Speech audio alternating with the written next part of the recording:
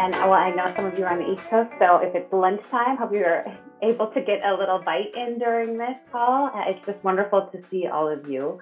Um, I want to thank Kelly and and the headquarters to just make this possible. And I was able to join our program directors at a meeting yesterday. And I said, this is kind of a warts and all presentation. So I'm excited to be invited to speak first, but that does not mean anything about how, where we are in this process. We have far to go and we're learning as we go. So I think uh, really making time for questions and conversations at the end of this is our goal. So I'm going to open up my deck, but go kind of quickly. I just threw a lot together that that might be just kind of conversation starters. So let me go ahead and share my screen. Can you see my slides? Wonderful. Yes. Okay. So we'll just kind of jump in. I, I, have this organized in a way that will kind of go over some of our early advances and then into the Cancer Equity and Diversity Committee that we have purposely named, which I'll, I'll tell you about uh, to Kelly talking about our heart partnerships and our heart initiative, and then what that impact on each of these things caused in terms of our policies, procedures, strategic planning, also the, our health equity efforts and engagement with the greater community.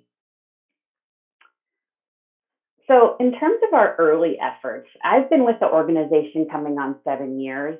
Julia Forth is our executive director, our CEO, and she's been in this role for close to 10 with the organization for 25, celebrating our anniversary last year. So, over the course of the time that we've been together, I think there's been a lot of change and initiative, including trainings for all staff, including uh, some changes that we have even at the entrance of our building. Although we're not there right now, we in- introduced a flag that ha- was a pride flag that had a CSCLA logo. Uh, we received some incredible feedback about the impact that made of just the comfort of, of the LGBTQ community accessing our services. And we're hopeful to also put that into our digital format. Uh, we've done a lot of expansion with satellite programming so if you've been to LA, and some of you may have had training there, uh, we are nestled in the West LA, but our service territory kind of crosses the Los Angeles uh, area. So we wanted to be inclusive in mind of we're not going to ask everybody to get to where we are. We need to find ways to get to you. So that was one of our early initiatives. And then just purposeful planning to our staff that kind of match our demographics in LA because we also want to have providers that look like the communities that they're providing services to and incorporating individuals from those communities onto our staff. So uh, what, with those efforts to what we are right now, I just wanted to give a quick snapshot of what our, our team looks like. And then I threw on here the LA census. This is an estimate from the 2019 to 2021 uh, US Census what the demographics look like in LA and comparative comparatively to our staff. So we've made some advances. There's things that we can change. You will see that in terms of our male female, uh, we don't have a lot of men, and and we I think that is something that we're purposely looking for also. Uh, so I wanted to make sure that I also included kind of gender identity in this as well.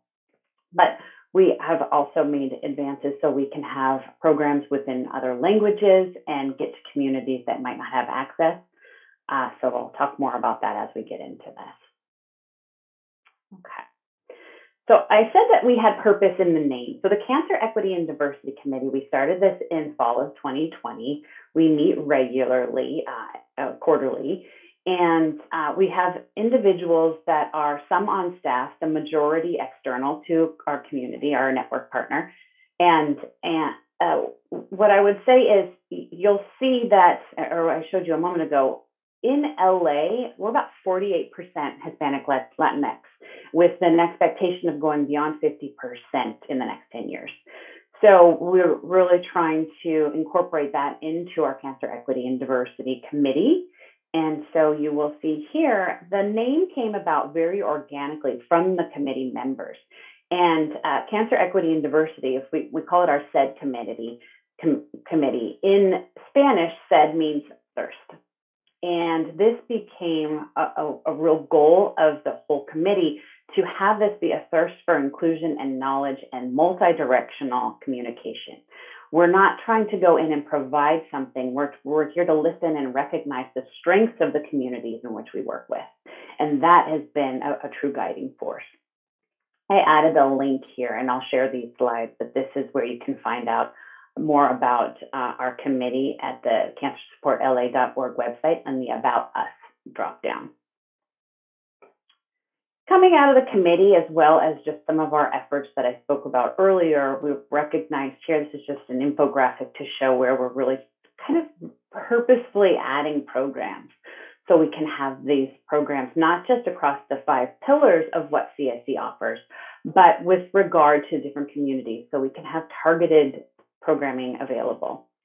So this is just a quick idea, and we're also including young adults, AYA in this uh, initiative. How can we make sure that a parent of a child recently diagnosed with cancer has support? How can we make sure that somebody that is in a community that does not have access to our main location, that we can create a satellite close to them so that there's something available? And then the opportunity that came out of the virtual programming has just been really huge to make sure that individuals have access without geography playing a factor, without uh, access to their, their, medical care, without uh, individuals feeling like they are too sick to come to the community. So our virtual programming is in place now and will be almost exactly the same as we go back to the community in person and as we go back to our community partners to offer in-person services. So in terms of our heart partnerships, the heart is also it's healing equitably through action, resilience, and teamwork. And this came about through a grant application. We realized we just had not put a name to the efforts that we had in place. So in terms of how we think to kind of really collaborate with a greater community, that's how this heart initiative came to be. And it's kind of a guiding force for a lot of what we do in terms of programming to make sure that there is uh, access to our services. And what that means is that we work with a lot of hospital systems, possibly just uh, community organizations, other nonprofits that are like minded, like missioned. This is a list of some of the partnerships that we have in place. So while it might not be a full embedded CSC in a hospital, it's how do we find ways to make sure that we are not uh, kind of working in silos or both spinning our wheels. We really want to think collaboratively, and it's actually increased uh, the access that we've received from other organizations reaching out to us saying, you know what, well, our organization doesn't offer as many in person services or virtual services. We would love to collaborate with you to make sure that there is a group available for our caregivers and we can design something together so it's listening to the needs and, and working uh, with other organizations and with the community. Another area that we put some purposeful, uh, this took a year, but we're purposely kind of getting engaged with uh, the Community Clinic Association of LA County. They go by CCA LAC, and there are similar agencies across the country. So you can try to, to see what might be available near your network partner. And I'm trying to remember network partner instead of affiliate. So I'm now I'm going to stumble 10 more times. But um, what this is, it's an association of federally qualified health center representation.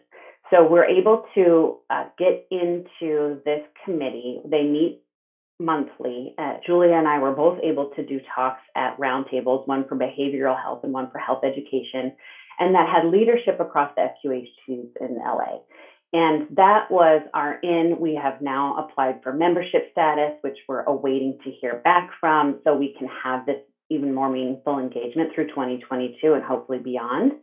And what we, we hope to get from this is that those that have uh, individuals that are managing a cancer diagnosis themselves or in their family know about CSC. We can find out how we can write collaborative grants to get programs into the FQHCs, and we can really find out what the needs are of the community.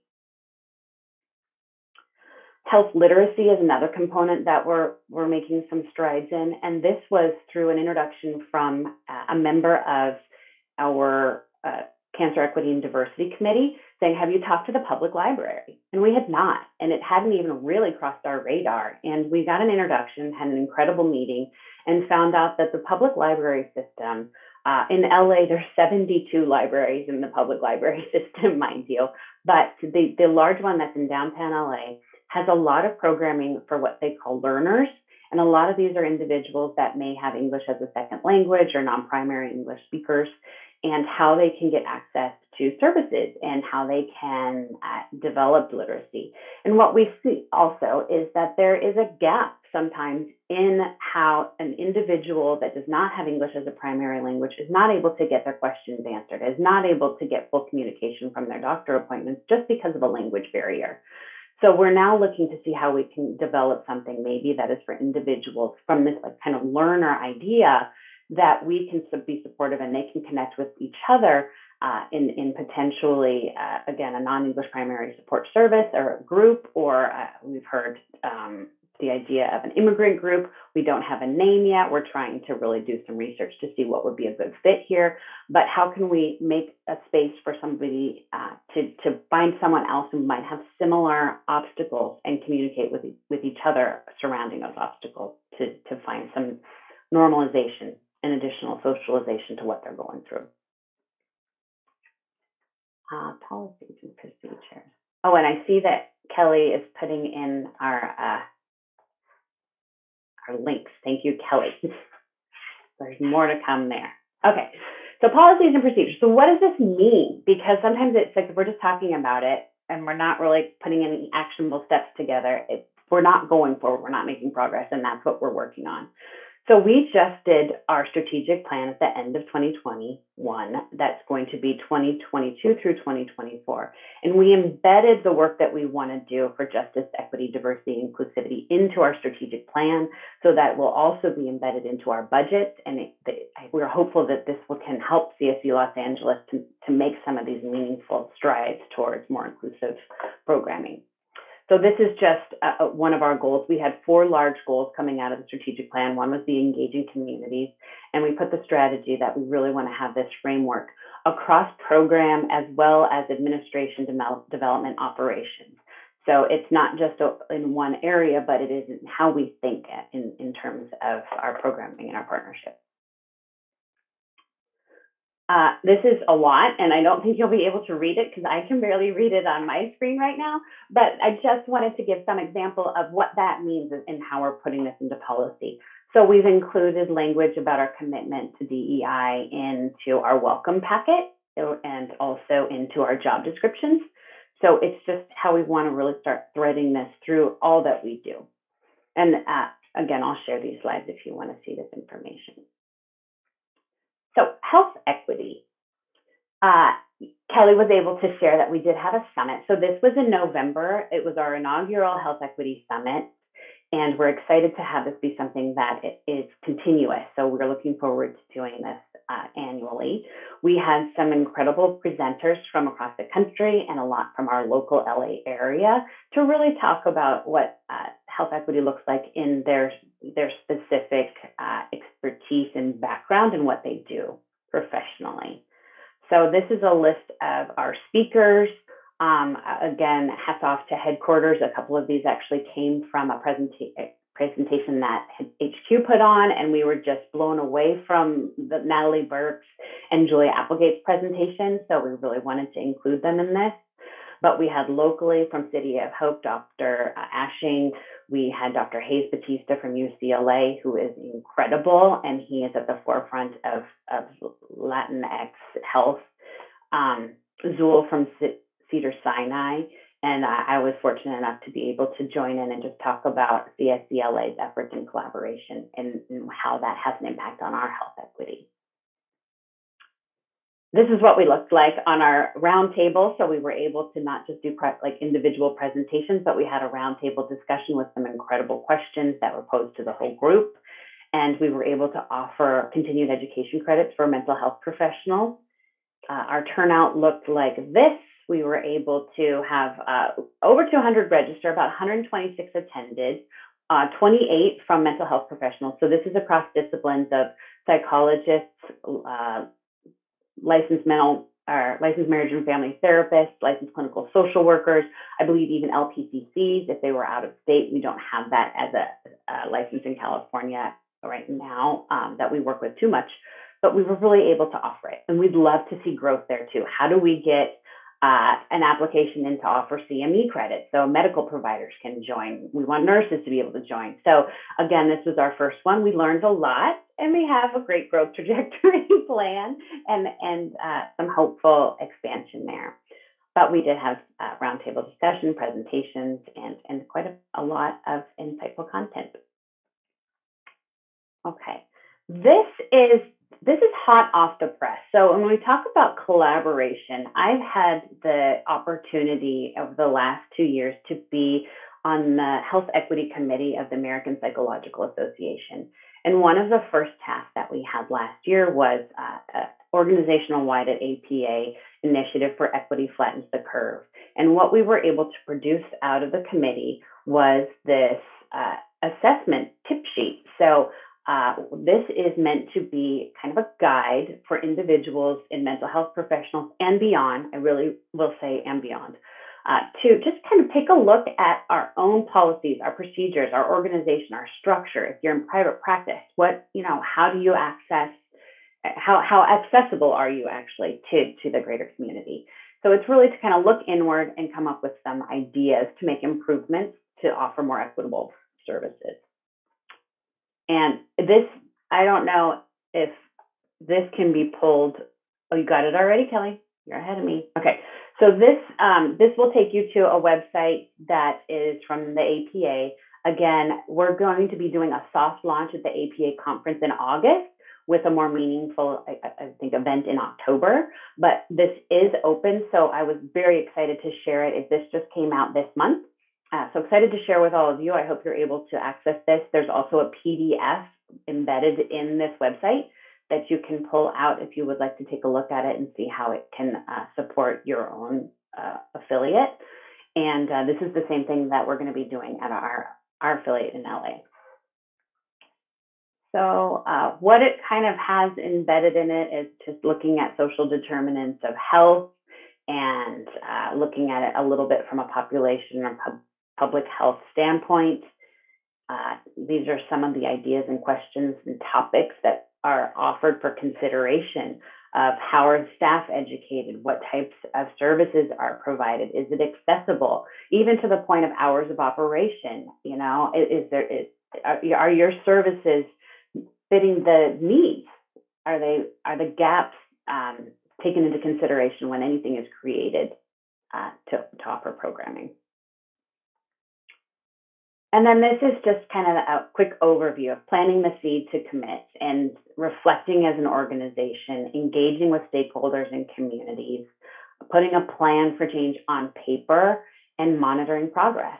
Uh, the flexibility piece is huge. We know that this is a work in progress and there i think there's fluidity in these steps a little bit where we kind of go forward and kind of kind of come a little bit back i would say that plan on paper that's where we considered this needs to be on our strategic plan we need to make sure that we recognize that our goal is across all of our program development operations so that's available to each of you and then in terms of community engagement uh, partnership.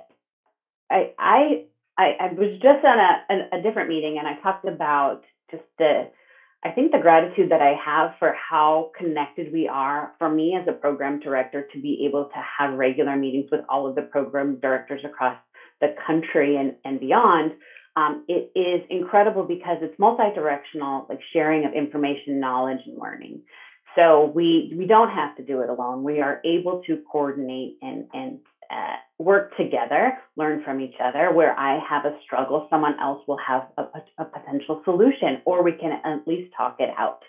So, using that same idea in the communities in which we provide our services, it's working with the community, not having any idea of what we need to do, but what do we need to do to modify our programming? What are the needs of the community? Because it's not cookie cutter.